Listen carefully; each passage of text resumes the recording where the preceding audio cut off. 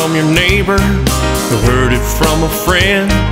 A young man from your home church was caught right in a sin. So you got on the phone just to see if it was true. And before you knew it, you had told everybody that you knew.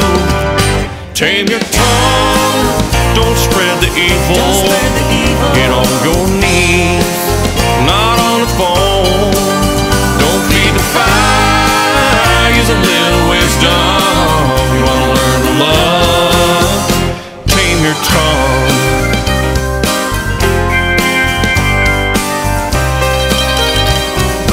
Someone that you told knew the man real well. And he told him what you said, though he promised not to tell. The man got on the phone and he began to yell. Don't you feel good now? The things you said just might send his soul to hell. Tame your tongue, don't spread the evil. Don't spread the evil.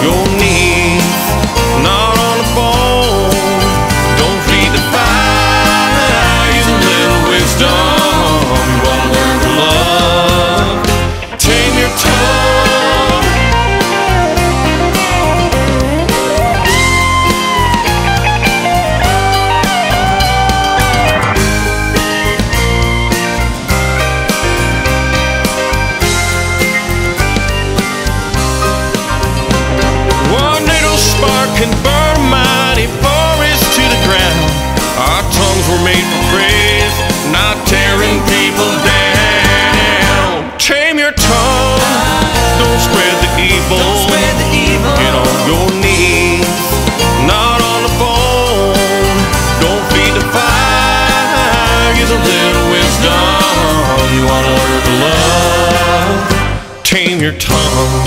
Do you wanna learn to love? Tame your tongue.